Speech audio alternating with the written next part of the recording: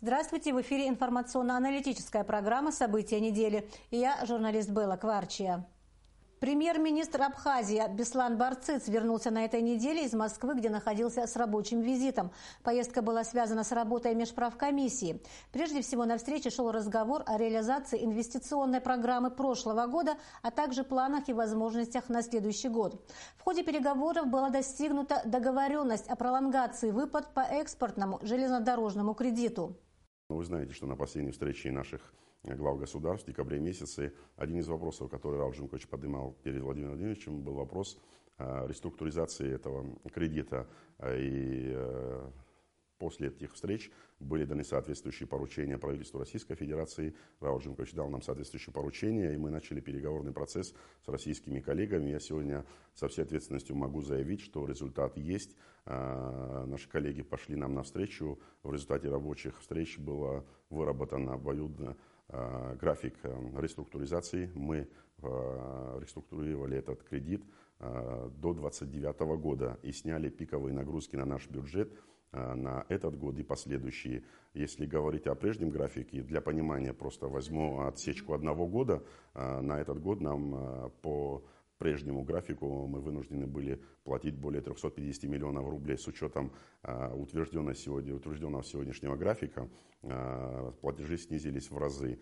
Э, то есть, э, пролонгировав его до 2029 года, нагрузки на наш бюджет в разы снизились, что позволит нам более рационально использовать те финансовые средства, которые появляется у нас вследствие нашего экономического роста и наших возможностей.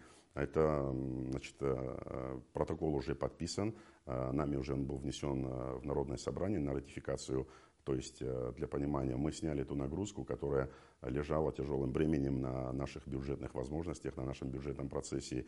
Считаю это хорошим результатом и э, должен отметить очень положительную работу, э, динамичную работу правительства Российской Федерации, которая очень оперативно реализовала поручение президента Российской Федерации и с нашей стороны Министерство финансов тоже выполнило все обязательства. И на сегодняшний день документ подписан. В понедельник в Москве прошло в Министерстве финансов подписание этого протокола. И я, как говорил выше, сегодня этот документ находится на ратификации в Народном собрании. Мы ждем ее ратификации э, в ближайшую среду. Расширенное интервью о рабочей поездке премьер-министра Абхазии Беслана Барциц в Москву смотрите в нашем вечернем эфире.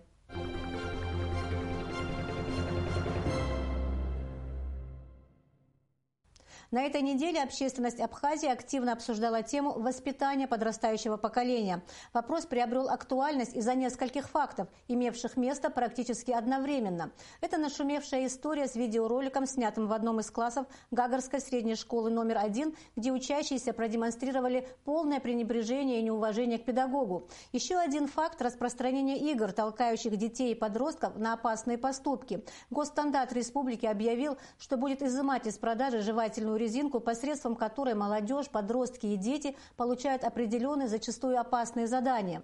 По всем этим случаям шли бурные дискуссии в обществе, социальных сетях.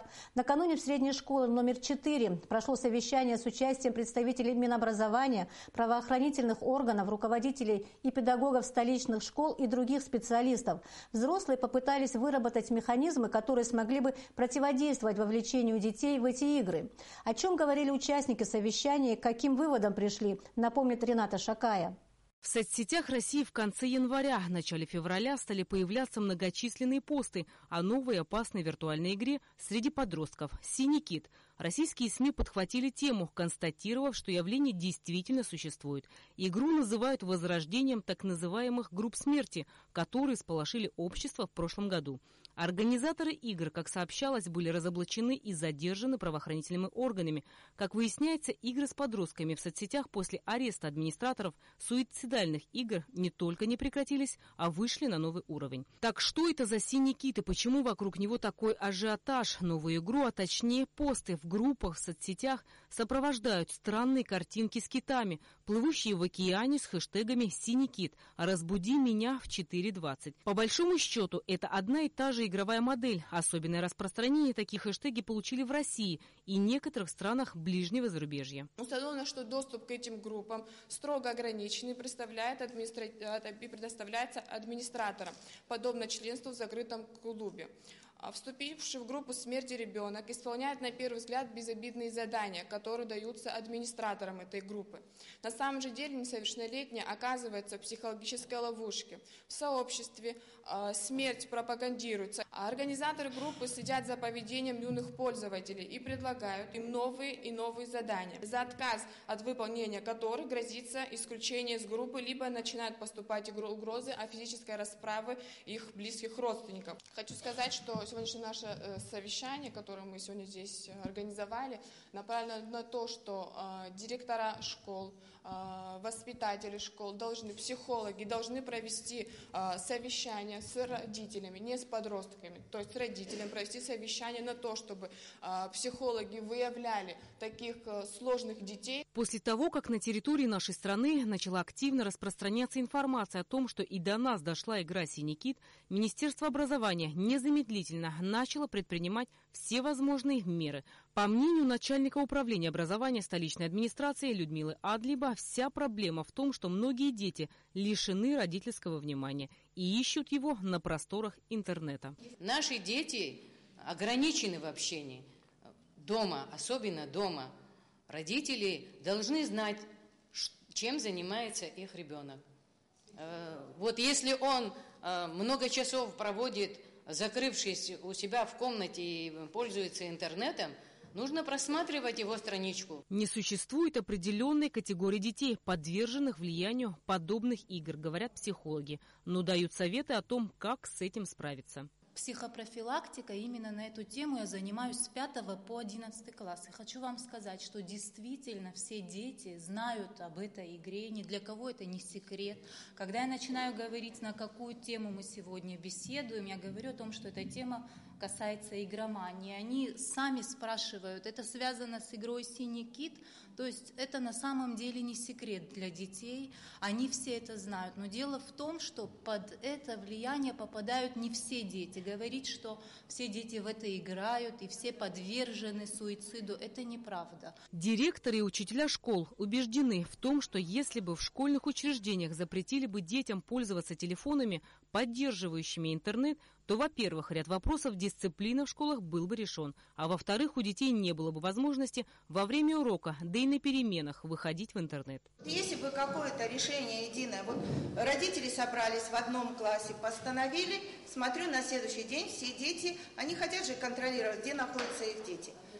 Э, принесли все дети простые телефоны без интернета. Тем не менее, в этом же классе, смотрю, 2-3 человека все равно опять смартфонами. Помимо социальной игры, «Синий кит» общественность обеспокоена продажей жевательной резинки, запрещенной для реализации на территории России.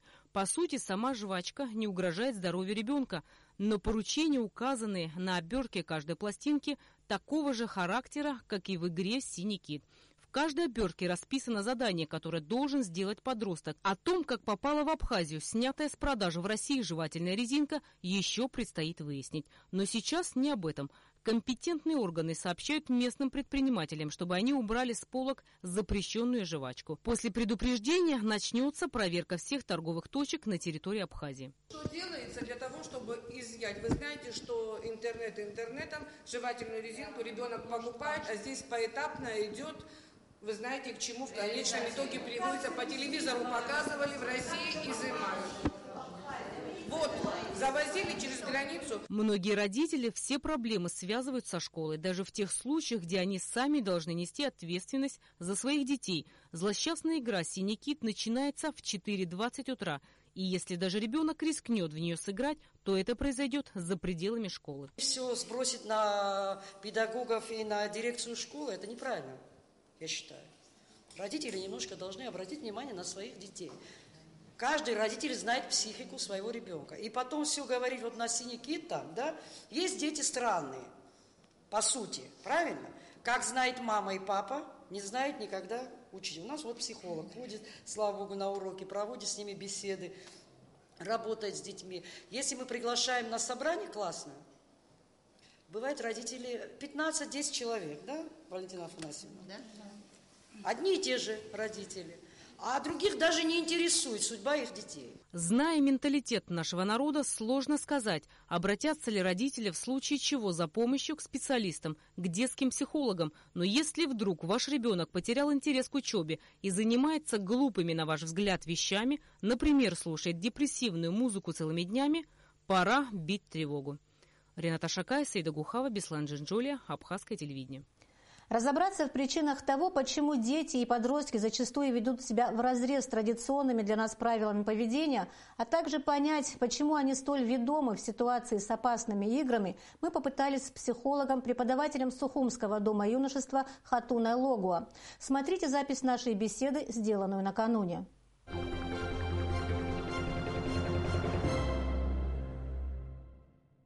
Здравствуйте, Хатуна.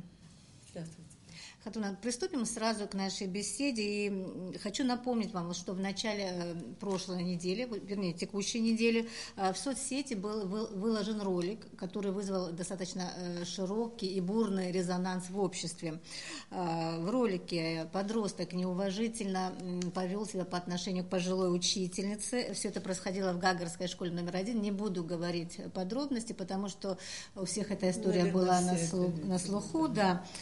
После этого этого подключилась Минобразование, провели совещания, встречи с, с родителями, с руководителем, с руководством школы и прочее, прочее, был разбор полетов.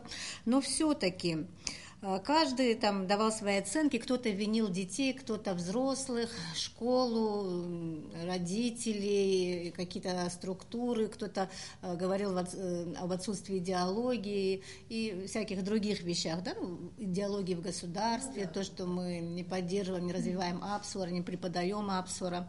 И вот на эту тему было очень много разговоров. И как психолог, как бы вы могли оценить этот случай?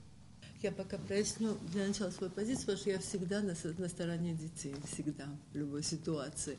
Но тут э, на самом деле очень, очень такая непростая и очень показательная ситуация, показательный случай, потому что он так, такой симптоматичный, на мой взгляд, и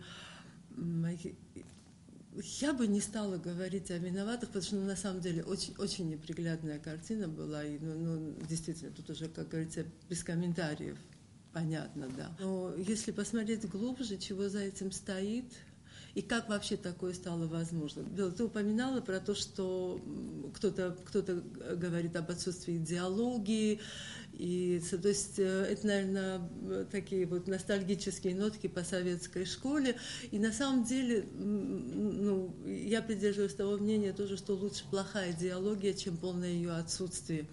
И если говорить о детях, э, конечно, мне кажется, я, я еще раз говорю, я, я не знаю детей, это, конечно, такая, такая очень э, скажем так, рабочая версия, да, то есть я так думаю, мне так кажется, да.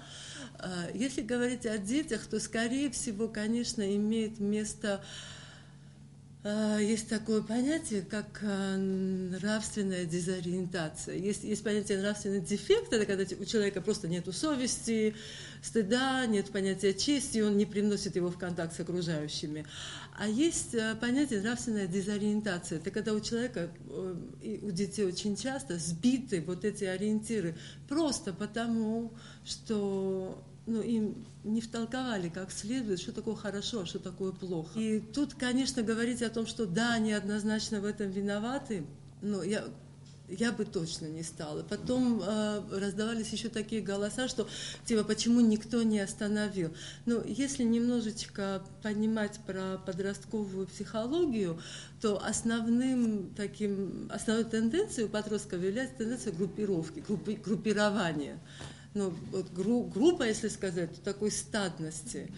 И очень часто дети, они, они, они, они реально, вот они совершают какие-то жестокие даже поступки, злые поступки. И ну вот самое глупое при этом спрашивать у ребенка, зачем ты это сделал. Он не знает, зачем он это сделал. Ну, не знает он этого, понимаешь? И, и поэтому эти поступки, они такую вот э, имеют тенденцию заражения, такой цепной реакции. Ну, реально, вот стадности, да, вот он, тут вот, вот этот вот мальчик, который, ну, вот лидирующую роль в этом в этом событии играл, вот, и, и он подцепил, и за ним вот, вот тут в это время класс вот этот превратился в такую маленькую стаю. И это на самом деле страшно ну, и, и неприглядно. Но мне кажется, что прежде чем... Ну, тут, тут точно ответственность лежит, может, даже в большей степени на, точно на взрослых. И я приношу глубочайшее, я правда не хочу никого обидеть, и не эту, и, и, и, и не учителя, который самое, но вот у меня было такое-то самое, но чего же она стоит, почему она не выходит из класса? Ну, потому что она несет вот равную ответственность за этот случай безобразный, если не большую. Ну, хотя бы потому, что она взрослая, и она педагог. И не должно быть такого. Ну, ну это правда неправильно. Хатуна, понятно, педагог э, растерялся, может быть, э, вот эта шалость, которую она привыкла видеть, она не оценила, и что это перешло какие-то рамки, но взрослые, которые, я имею в виду, находятся дома, родители, да, да. они же должны, наверное, должны, это такое слово, да, э, должны, как-то направлять своих детей, чтобы такие поступки были неприемлемы, да, скажем так. Вот чем они могут направить? Только словами? Получается, что это как бы так, в пользу бедных, да, скажем так. А кто-то вот в каком-то разговоре, кто-то сказал о том, что самая лучшая рекомендация, самое лучшее, самое лучшее воспитание – это собственный пример. Вот вы согласны да, с этим? Абсолютно, потому что ребенок растет и формируется вот на этом поле, в этой среде, которую создают родители. И когда я сказала, что их не научили, вот они, у них такая нравственная дезадаптация, но именно в семье ребенок получает первые уроки нравственности. Ну, грубо говоря, что такое хорошо, что такое плохо. Конечно, в семье. И потом уже при дальнейшей да, социализации, когда у ребенка расширяется, это уже там, не знаю, детский сад или школа, и там тоже. Но сегодня вот говорить о том, что это вина школы тоже, потому что абсолютно согласна. При отсутствии идеологии, при отсутствии такой четкой единой линии идеологической, да, воспитательной, к сожалению, школа сегодня сегодня лишена многих рычагов, потому что, Белла, когда учились мы с тобой, э, была пионерская организация, была комсомольская организация, и мы действительно, и это, и это действительно держало в тонусе, потому что в случае чего могло быть устроено комсомольское собрание, мы правда этого боялись, и это было таким мощным, сдерживающим и воспитательным фактором. Сегодня этого, к сожалению, нету. Я не говорю о том, э, насколько хороша там коммунистическая комсомольская идеология, но еще раз, лучше самая плохая идеология, чем полное ее отсутствие. Потому что у школы нету рычагов сегодня. Одно, а второе, вот эта грустная, печальная тенденция, которую я наблюдаю, иногда создается ощущение, что между школой и детьми, и их родителями идет такая война.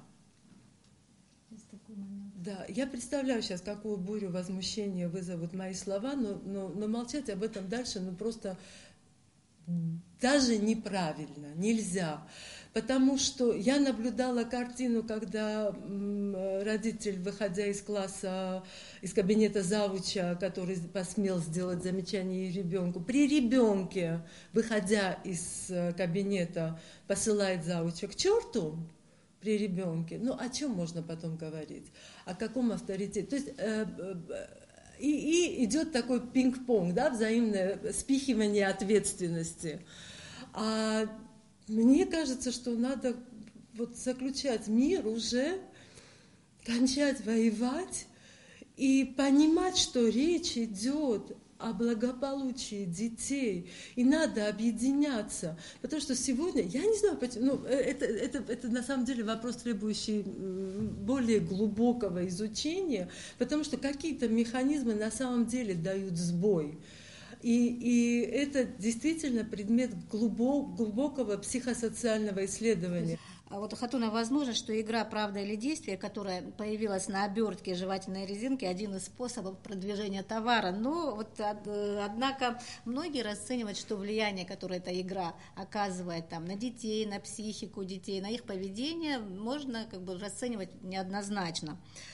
А, тем более, там некоторые проводят аналогии с такой вот более зловещей игрой, как это «Синий кит», где там реально есть жертвы этой игры.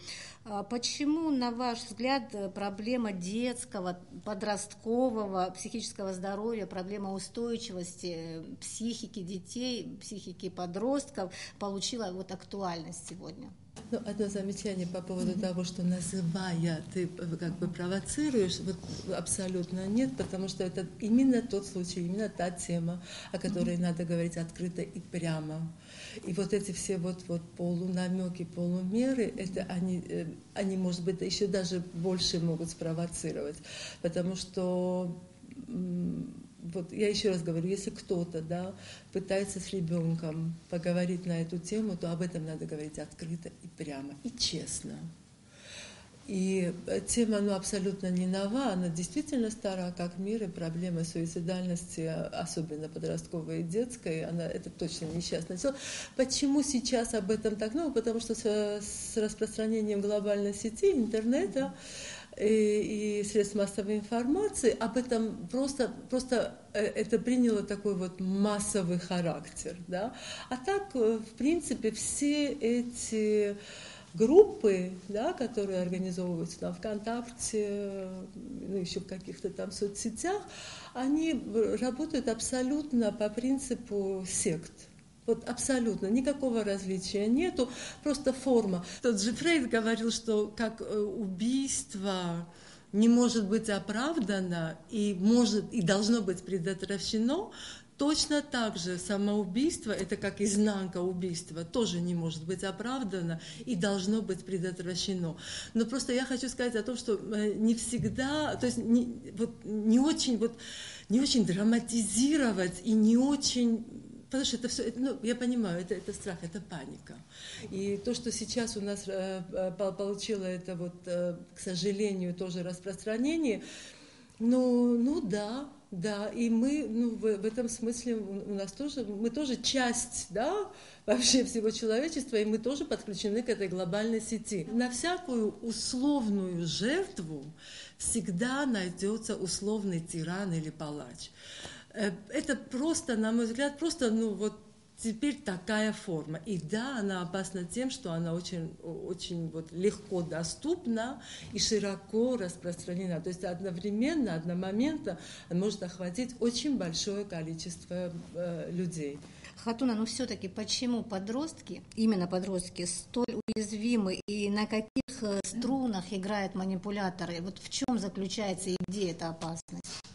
Психология суицидальника это такая амбивалентная, двояка, да, неоднозначно. С, одной стороны, есть такая безысходность и, и, вот, и, и, и усталость, и, и но с другой стороны еще недостаточно то есть энергии для того, чтобы совершить это. И вот в этом смысле э, жертва, она э, ну, в кавычках, конечно, вот, э, не несет такую ответственность, такую э, бессознательно совершает это. И когда она попадает в эту группу, то тут, конечно, это решение, оно уже, конечно, может, может окончательно сформироваться, и группа может даже подтолкнуть к этому. Но я бы хотела обязательно еще сказать пару слов об этих группах, потому что все не так однозначно, потому что в начале, в начале, да, вот те группы, которые были образованы, э, и от них потом отпочковались э, масса имитаторов и подражателей, на самом деле а, организовывали эти группы ну, задумавшись о высокой детской и подростковой смертности, как э, помощь, как такого рода, да, как такого рода горячую линию где, в принципе, пока вот э, начинали играть, потому что одно из правил общения с суицидальником – это не пытаться его отговорить и говорить, что как это глупо и как это неправильно. И э, как бы подхватывая это, да, вот его волну и выводя потом на нет, потому что очень часто, ну, чаще всего, э, попытка суицида – это крик о помощи, это, это крик о спасении, потому что большинство ну, по некоторым данным, по, по некоторым данным, ну, минимум 70-80% суицидент, суицидентов так или иначе давали понять, давали знать о своих намерениях. Другое дело, как, как на это реагировали, насколько всерьез это воспринимали. Поэтому вот тут это точно та тема, где ничего случайного не бывает, и все должно приниматься во внимание. Ну, если говорить о том, как, на какие э, на, на, на какое вот изменение поведения можно ну, нужно обращать внимание. То есть, э, э, ну вот если ребенок вдруг вот он весь такой активный, жизнерадостный, и вдруг становится подавленным, э, мрачным, унылым, вялым. Э, если, или наоборот, то есть если ребенок такой, весь такой зажатый, спокойный или, или вот напряженный, и вдруг становится таким вроде жизнерадостным, всех любит, всех. И родителям может показаться в это время, что ну все, вот кризис миновал, и ребенок вышел. А на самом деле очень часто это может быть знаком того, что э, кризис миновал в кавычках в том смысле, что человек принял решение уже и, и от этого решения, то есть он вот, вот такой положить конец, допустим, невыносимой какой-то ситуации. А ситуации могут быть очень разные, начиная от, от, э, от семейной да, ситуации, и, э, и в школе, и социальное окружение, э, и, и друзья, и сверстники, и учителя. Ну, тут очень много, на самом деле, факторов, которые могут ну, если наличие которых могут э, говорить о том, что ребенок или подросток находится в группе риска. В одном пособии для, э, оно для школьных преподавателей, а, вот чтобы, чтобы помочь ребенку, дается такой совет. Надо позаботиться о том, чтобы преподаватели были в порядке, чтобы у них был эмоциональный, эмоциональный такой э, порядок, да, душевный покой. Потому что на самом деле, если хочешь позаботиться о ребенке, в первую очередь нужно позаботиться о себе и привести себя в порядок. А, это такое вот главное правило. И плюс еще, если, если говорить о том, почему ребенок, допустим, может оказаться а, вот в этой, в, в этой группе. Как ни странно это прозвучит, но очень часто ребенок может искать там признание. Признание а, себя как личности.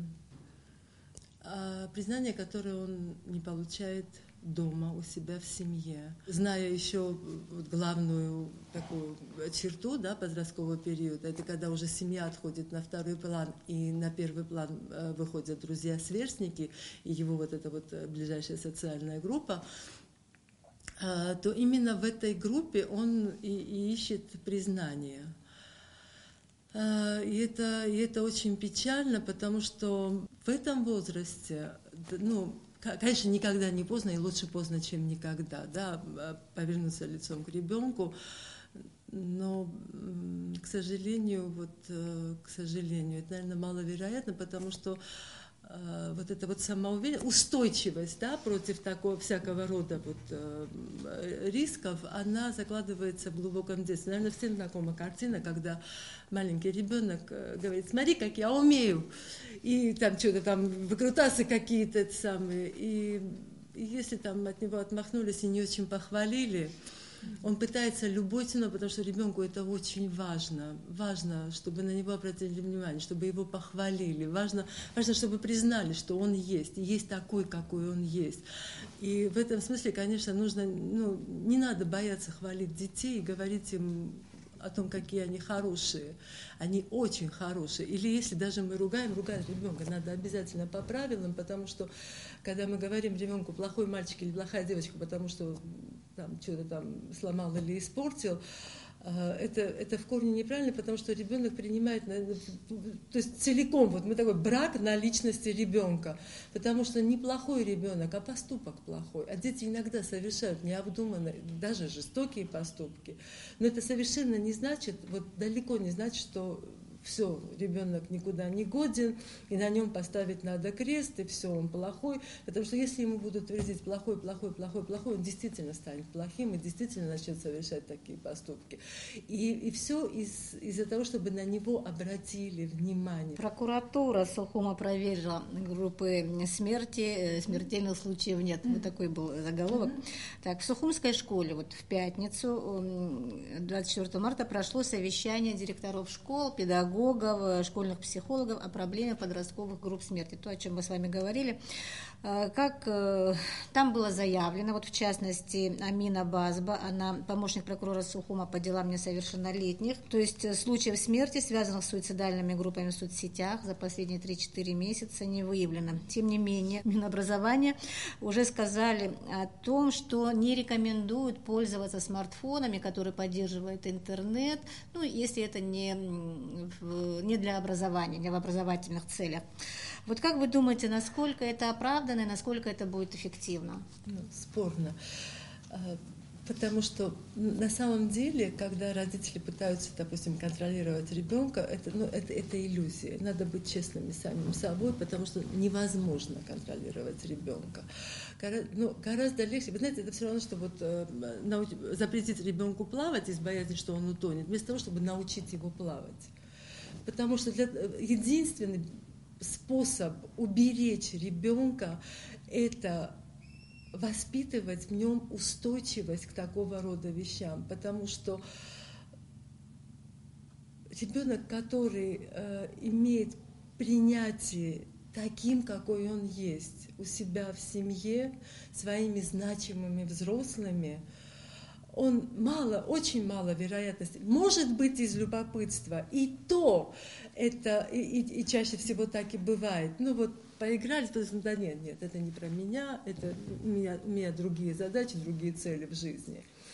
И единственный способ это, это действительно признавать и уважать, и растить ребенка в уважении э, к его личности ну, нету на самом деле других рецептов. А запрещать, нет, я, я не говорю о том, что надо, надо обязательно держать, ну, как контролировать э, по возможности, потому что все это, естественно, под паролем и нету доступа. Но я думаю, что все равно можно найти через каких, через друзей, зная, с кем общается твой ребенок. Да, можно, можно мониторить как-то время от времени, какие у него там, допустим, э, посты, какие у него статусы, статусы да. да, в социальной сети, а, а, какого рода это высказывание. Потом, э, если говорить уже об этих играх, да, то это такие ночные игры. И, э, естественно, заботливый родитель заметит, что, допустим, ребенок спит дольше, чем обычно, или просыпается по утрам, ну, э, признаки там сонливость, вялость, синяки под глазами, Потом э, э, тоже это общеизвестно, что они на первых порах дают какие-то э, там задания, которые о самоповреждении. И поэтому, если у ребенка появляются синяки непонятного происхождения или порезы на руках, то это естественно, это, это такой э, сигнал, и на это нужно обязательно обращать внимание. Если, допустим, какая-то острая подкризисная ситуация да, у ребенка, не у у ребенка, вообще э, э, есть такой феномен сужения сознания. И когда кажется, что, ну, все, наверное, такая знакомая картина, да, вот что-то что натворили, что-то страшное случилось, и, и, и страшно идти домой, потому что родители убьют. Вот если страх наказания и риск наказания очень велик, это, это вот это такая реактивное состояние, и она может привести к необратимым последствиям, к сожалению просто из страха наказания. Или если, если, э, если допустим, ребенок э, подвергся какому-то насилию, э, в том числе сексуальному, если ребенок подвергается систематической травле среди сверстников, тоже не редкость, к сожалению, или если, допустим, на него возлагают слишком непомерно высокие надежды и требования, и он не очень умеет им соответствовать и не оправдывает ожидания, это тоже может сломать ребенка. И поэтому, э, ну, в этом смысле, конечно, но всегда, всегда ребенок подает какие-то знаки без реакции это не могло остаться, и поэтому вся вот эта вот волна, да, там, собраний, совещаний и так далее. Но мне бы очень хотелось, чтобы на этом точно дело не закончилось, потому что собрание провели, а проблема точно от этого не решится. Потому что э, надо, надо уже ну, уже надо было вчера, но вот пока Арба не перевернется, к сожалению, ну, вот, дороги не видно. Но если, если уже говорить о том, чего можно делать, то это должно быть ну, реально вот в рамках э, какой-то государственной программы. А, я знаю, что я и среди моих коллег э, есть немало людей, которые готовы участвовать в этой программе. Ну, вот, ну, элементарно, мы готовы, потому что э, в процессе работы мы часто сталкиваемся с такой Эм, ну, как бы сказать, психологической некомпетентностью, э, ну, в том числе и преподавателей. И э, в этом смысле мы готовы вот даже ездить э, по школам, проводить лекции и занятия с преподавателями, с родителями. Катуна, спасибо за такую глубокую беседу. Я надеюсь, что э, информацию, которую мы все услышали сегодня, будет взята на вооружение и, возможно, это кому-то поможет. Надеюсь, надеюсь. Спасибо. Берегите себя, берегите детей. Всего вам доброго. Всего доброго.